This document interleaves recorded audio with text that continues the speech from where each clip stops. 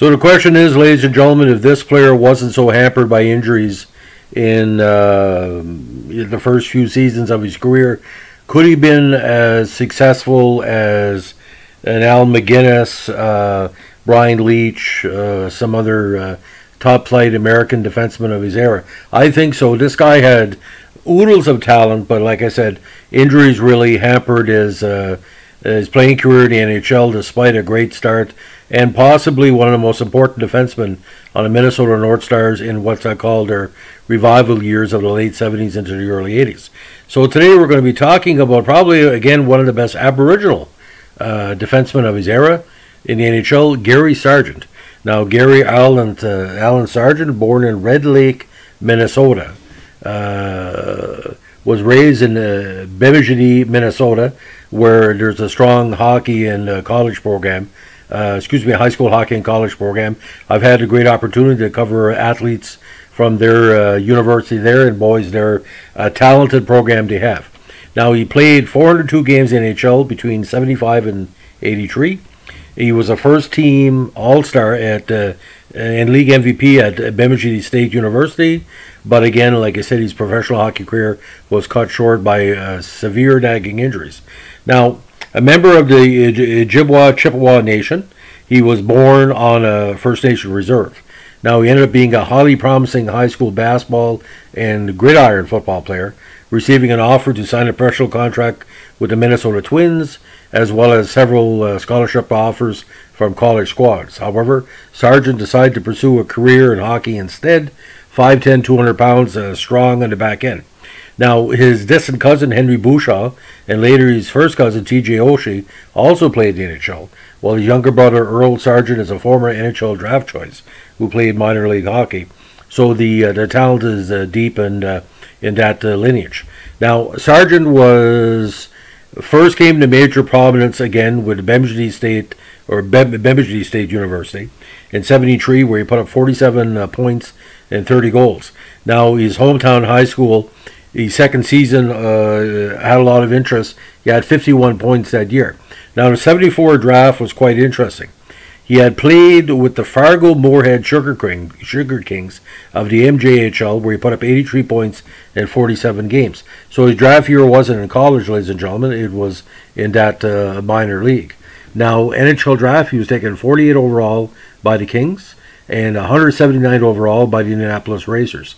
Now, there was some question if the Montreal Canadiens or Toronto Maple Leafs were going to take a chance on him because they were drafting a lot of uh, players from Minnesota, but uh, it didn't pan out.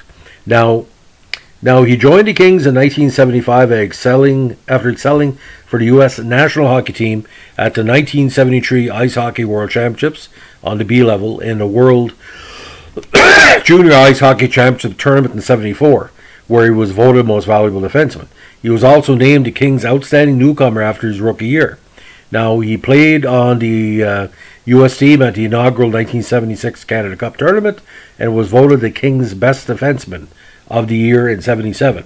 In 78, Sargent tallied 54 points, had a plus minus of a plus ed team that on a squad that was minus two for the season. However, the Kings failed to re-sign Sargent and he become became a free agent. Now, here it gets a weird machinations, ladies and gentlemen. In the summer of 78, Sargent signed with the Minnesota North Stars as a restricted free agent when his contract with the, the Kings ended. Minnesota had to give up three players to LA, uh, the talented Rick Hampton, Steve Jensen, and Dave Gardner as compensation. But Sargent quickly became one of these new team's most important defensemen in 78 79, being on the ice for a league record 53% of his team's goals that season. Sargent was selected to the 1980 NHL All Star game in LA, but was unable to participate due to persistent back and knee problems, which eventually forced him to retire prematurely in 1983 after missing most of the previous three seasons. Now, Sargent returned to the Kings after retiring as a player, as he worked as a scout for the team for three uh, over three seasons. Now, Best season uh, with the Kings was again 77, We had 54 points and helped them uh, to a nine game playoff run. And 1980 was also a big year, injury riddled, but he did uh, play enough to uh, help knock off uh, Montreal in the uh, in the quarterfinals of defending Stanley Cup champions. So full NHL totals: 222 points, 402 uh, games, 61 goals, and again uh, 12 points in 20 playoff games.